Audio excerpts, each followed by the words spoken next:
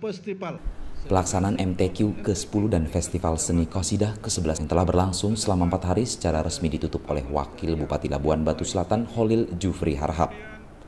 Ketua acara Mukti Ali mengatakan kegiatan ini diikuti oleh peserta dari lima kecamatan yang ada di Kabupaten Labuan Batu Selatan dengan jumlah Dewan Hakim dan juri ada sekitar 47 orang dengan jumlah piala yang diperebutkan sebanyak 276 trofi dan dua hadiah umroh.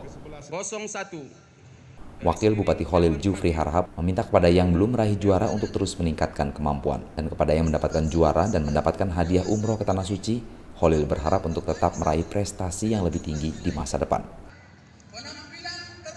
Sedangkan Ketua DPRD Jabaludin Dasopang mengatakan kegiatan ini bukan sekedar rutin dilakukan, namun juga dapat menumbuhkan serta mensinergikan perkembangan Islam tanpa mencederai agama lain, serta menjalin silaturahmi di antara sesama umat beragama.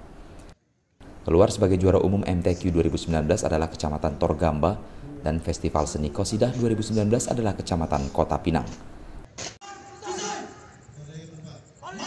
Dari Sumatera Utara, Tim Liputan Tribrata TV, salam Tribrata.